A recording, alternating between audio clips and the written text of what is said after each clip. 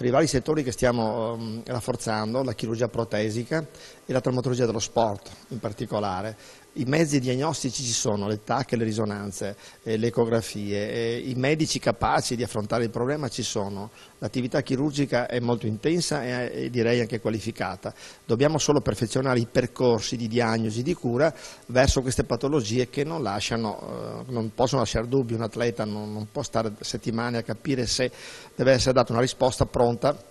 di livello e in linea con le esperienze cliniche eh, diffuse e con, le, e con, la letteratura scientifica. È, è, molto forte lo spirito nostro di volerci adeguare, i mezzi eh, li abbiamo senza particolari difficoltà di spesa perché non esiste neanche spesa dovendo usare gli strumenti che abbiamo già in dotazione.